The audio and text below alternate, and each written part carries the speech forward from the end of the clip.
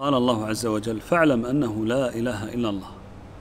فأمرنا الله عز وجل بأن نتعلم معنى لا إله إلا الله نتعلم ما يتعلق بلا إله إلا الله بالتوحيد بالعقيدة الصحيحة بالإخلاص.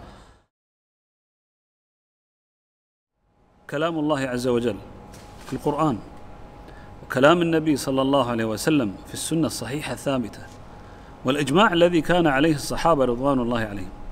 هذه هي الأصول الثلاثة التي تقاس عليها جميع العبادات والعقائد وجميع الأشياء. فهذه الكتب التي نعتمد عليها من المختصرات والملخصات لا بد أن تنص نصا صريحا واضحا بينا على أننا لا نتجاوز قول الله عز وجل وكلام النبي صلى الله عليه وسلم الصحيح الثابت وهدي الصحابة رضوان الله عليهم. وبهذه الأصول الثلاثة نقيس جميع الأعمال والعبادات. هذه النقطة الأولى أن تعرف ما هو المصدر الصحيح للعقيدة الصحيحة.